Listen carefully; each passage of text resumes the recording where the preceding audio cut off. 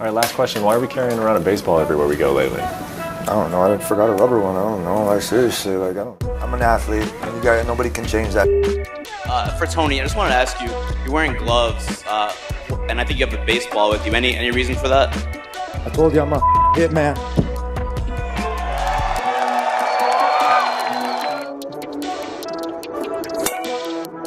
And there's a baseball baseball there. Any any Just in case they run. In order to do this sport for a very long time, you have to have fun.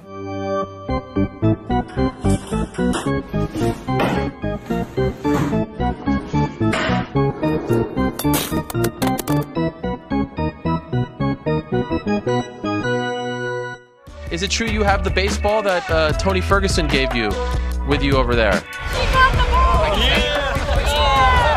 The famous baseball.